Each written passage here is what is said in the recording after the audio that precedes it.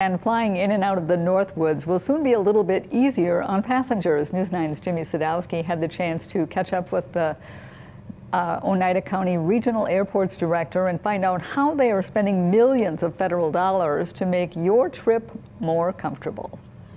A few months ago, if you wanted to get on a plane here at Oneida County Regional, you'd have to walk out on the tarmac. But thanks to a new grant, they're getting some much needed upgrades. Over $3 million is going towards rehab projects at Rhinelander Oneida County Regional Airport. And when it's fully operational the first week of November, it's going to not just make workers' lives easier, but flyers as well. Take the new jet bridge. Before, flyers had to go out on the tarmac and deal with the elements. This one is a straight shot in. The jet bridge is going to be a much better experience. It's got it's fully HVAC. It's going to have a baggage lift. It's going to have an intercom.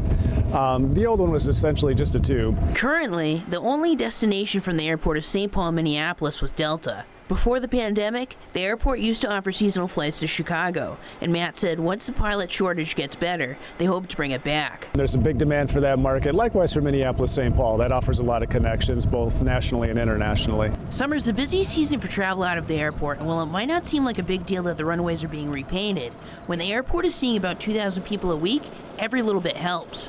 Matt tells me the next project will cost nearly $10 million and will rehab parts of the runway and the electrical parts of the airport. In Rhinelander, Jimmy Sadowski, News 9, WAOW.